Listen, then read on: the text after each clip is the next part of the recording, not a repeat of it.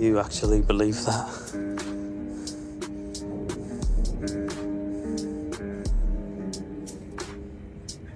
I love her, Tommy. I've loved her since she was nine. She loves me the same.